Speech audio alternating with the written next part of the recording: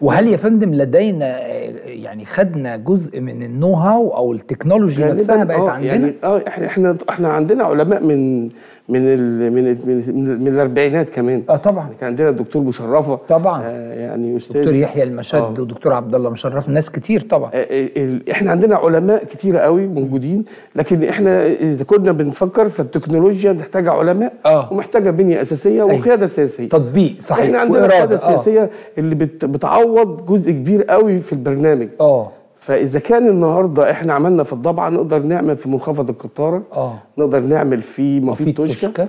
في آه، الصحراء الشرقية. اشمعنى يا فندم. الأماكن دي بالتحديد؟ هو غالبا يعني إحنا طبعا جيولوجيا آه، الناس الجيولوجيين بتوعنا في مصريين علماء يعني آه، عظام قوي. بنبص على مصادر الزلزال آه. والأرصاد بتاعتنا و... عشان ثبات التربة. آه ثبات التربة. عشان إحنا الحمد لله ما شاء الله عندنا آه، حاجة جميلة جدا إن إحنا ال- الأهرامات المصرية عاملة ضمبد لأي ايرث كويكس آه. للزلازل الموجودين. بتمتص تمتص. آه، الصدمات. آه، يعني إحنا عندنا في آه، آه، زلزال بيطلع من بحيرة قارون إلا إن آه، القمة بتاعته عند آه، الأهرامات مم. بتقدر تعمل ضمبد لل, لل... بت- بتهبط بتهبط التأثير ده. التأثير مم. فإحنا مش بلد زلازل وبراكين فنقدر نعمل مشروع في أي مكان